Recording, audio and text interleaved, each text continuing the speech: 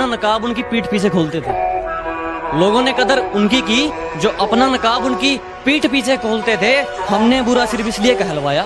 हमने ठोकरे सिर्फ़ इसलिए खाई क्योंकि हम सच हमेशा मुँह पर बोलते थे। सब पूछते हैं भाई तूने बॉडी कब बना ली? तो भाई सुन जब तू जिया बना रहा था ना तब मैं जिम जा रहा था। अपने सपनों पर फोकस है आशिकी इग्नोर करता हूँ और इन चक्करों में पड़ता ही नहीं ये मत सोच दिल टूटने से डरता हूँ। तब कहती थी अरे ये हमारे बीच में प्यार नहीं सिर्फ़ अट्रैक्शन थी।